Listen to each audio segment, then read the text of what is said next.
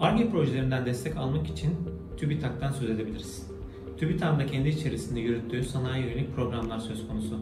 Bu programlar kendi içerisinde kod numaraları da belirlenmiş ve düzenlenmiştir.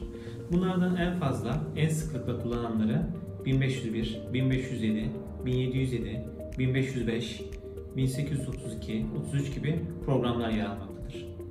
1501 genellikle KOBİ ölçeğindeki firmaların başvuru yapabildiği ve proje üstü olmadığı projelerdir.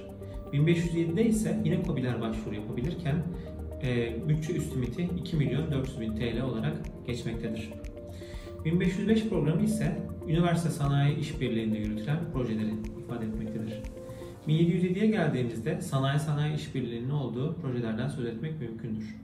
1832, 1833 gibi programlar da yeşil sanayi dönüşümü kapsamında firmaların başvuru yapıp konsorsiyum ve tekil olarak destek alabildiği program olarak geçmektedir.